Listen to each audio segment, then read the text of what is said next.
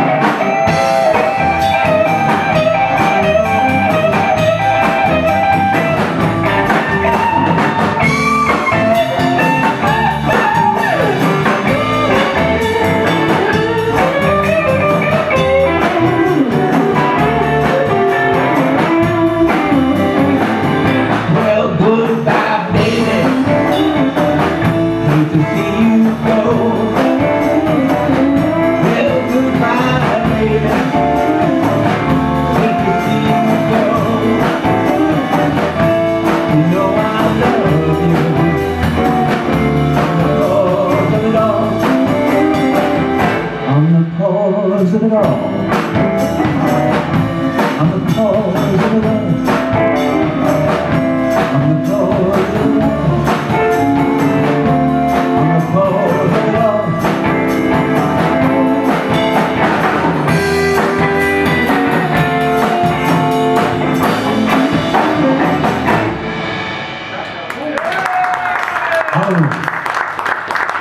you. Thank you so much.